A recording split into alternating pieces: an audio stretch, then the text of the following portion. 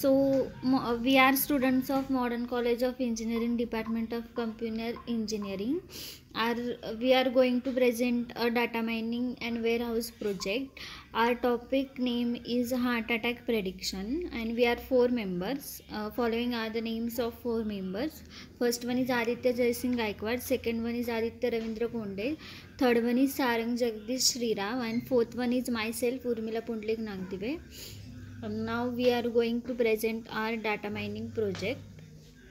So this is our data mining project.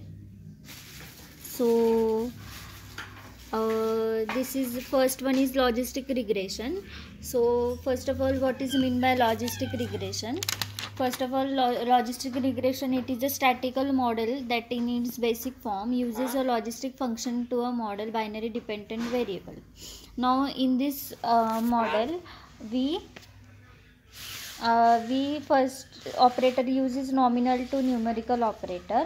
This nominal to numerical no- operator converts a polynomial into num- uh, numerical second one is set role operator. Set role operator is used to change the role of one or more attributes.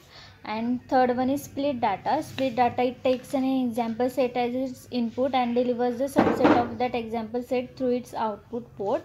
And it also produces the desired no- desired number of subset of a given example fourth one is logistic regression. Logistic regression it is an applied in training sub process of split validation operator.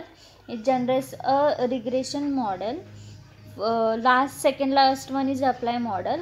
Apply model uh, is a first train on example set by another operator which is oftenly uh, learning algorithm.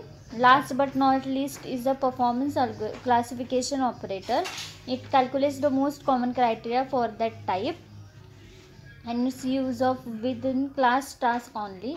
And i'm going to run this project. So this is the data set this is the result of this logistic regression. This is the second heartbeat row and uh, second row is prediction of and prediction row. And second uh, project is our decision tree. So first of all what is mean by decision tree? It is a flowchart like structure in which each internal node represent test on an attribute. So here also we have taken a uh, we have taken a data. And on that data we first perform a set role operation